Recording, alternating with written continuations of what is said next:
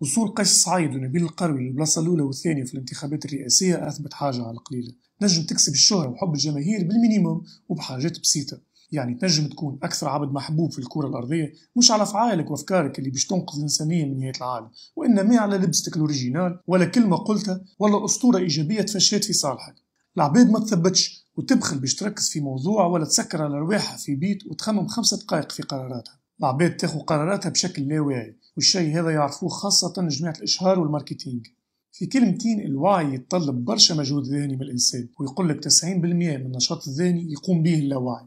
10% برك هي نسبة القرارات اللي ياخوها الإنسان بشكل واعي في حياته. ماهوش موضوعنا القروي توا والوصولية متاعه وتصرفاته المافيوزية. يهمني نحكي على قيس سعيد. أنا حسب رأيي من أهم الحاجات اللي لعبت دور حاسم في خيار الناخبين لقيس سعيد هو عامل اللغة. قلتها ونعاودها قيس سعيد كان جاي كي العباد الكل راهو ما يعرفوا حد.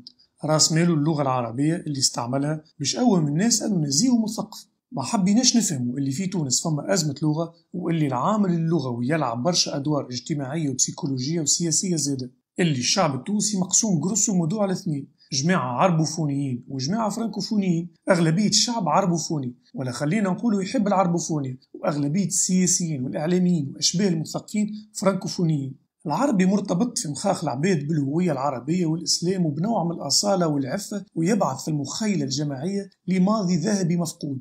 الفرنساوي يبعث للبرجوازية والحداثيين واللي ناكرين في جذورهم ومعادين للأصول والعادات والتقاليد.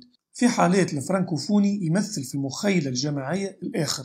دونك الشعب باش يقول للسياسيين والإعلاميين والمثقفين بدوره راكم ما تمثلونيش اختار العربي وعاقب الفرنساوي. بيت القصيد. انتخاب قيس سعيد هو في جانب كبير منه انتخاب الذات وإقصاء الآخر. وأنا حسب رأيي هذه حاجة باهية في مسيرة تونس نحو رد الاعتبار للغة التونسية. بعد خمس سنين من حكم قيس سعيد اللي ضده وخاصة اللي فوتوله باش يشوفوا على عينيهم prototype متاع التونسي اللي ماشي في باله لغته العربية.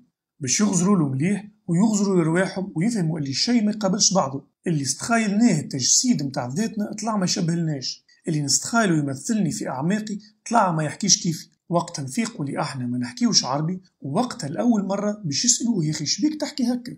سؤال في مخاخ العباد الكل أما ما تجرؤوش يطرحوه عليه خاطر يشوفوا رواحهم. كان عطاه ربي راهم يحكيو كيف.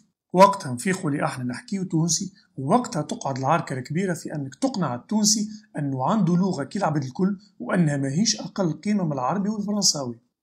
ونعاودها مع كل احترامي ليه كشخص والآراء.